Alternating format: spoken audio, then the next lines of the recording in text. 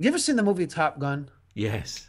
Okay, I love that movie. Right? Yeah, it's a great Uh, film. it's about, about Tom Cruise. He's a he's a he's a, a Navy pilot, right?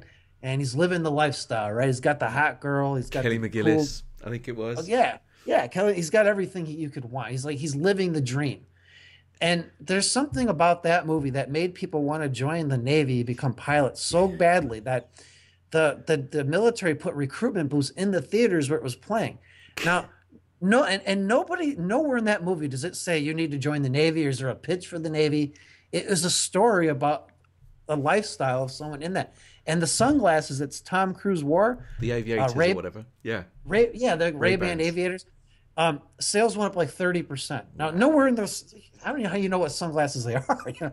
But my point is, it's just the story did all the selling. You know, so imagine if you actually have something to sell.